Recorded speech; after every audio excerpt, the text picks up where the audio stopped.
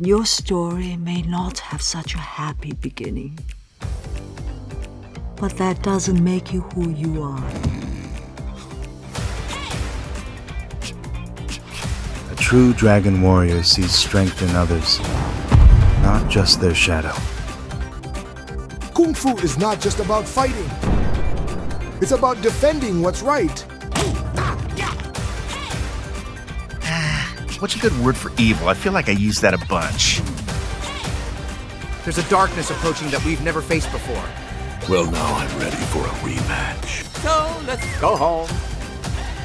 Who are you? I am Po.